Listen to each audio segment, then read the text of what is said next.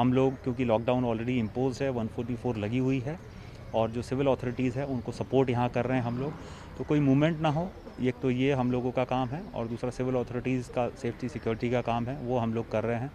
Evacuation का और बाकी काम जो है, वो हेल्थ डिपार्टमेंट और सिविल डिपार्टमेंट जो है, वो कर रहे हैं। यहाँ लेकिन कितने लोग मौजूद हैं अभी जहाँ से इवैक्यूएट कर रहे हैं उनको? देखिए इवैक्यूएशन की प्रोसेस जारी है एग्जैक्टली exactly कितने यहाँ से चले गए या कितने अवेलेबल हैं क्योंकि हेल्थ डिपार्टमेंट के लोग वो प्रॉपर सेफ्टी सिक्योरिटी के साथ में अंदर जाते हैं।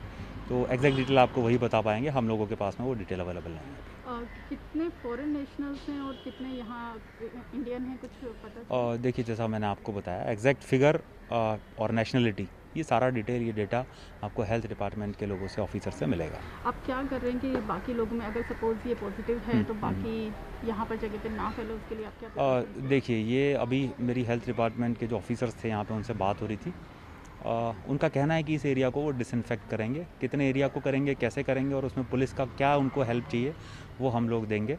और ये डिटेल्स जो हैं वो उनके दिशा निर्देश उनके डायरेक्शन पे ही होगी। तो सुनने में आ रहा है चौदह सौ लोग हैं मरकज के अंदर। तो अगर इतनी ज़्यादा संख्या में है तो कैसे मैनेज हो पाएगा अगर पॉजिटिव निकला यस यस ये इसका जि, जितना भी अरेंजमेंट है ये बड़े लेवल पे आप बता रहे हैं कि संख्या ज़्यादा है एग्जैक्ट फिगर मेरे पास नहीं है बट इसका अरेंजमेंट जो है वो सिविल डिपार्टमेंट ऑलरेडी कर रहा है और इन लोगों का पूरा ध्यान रखा जा रहा है।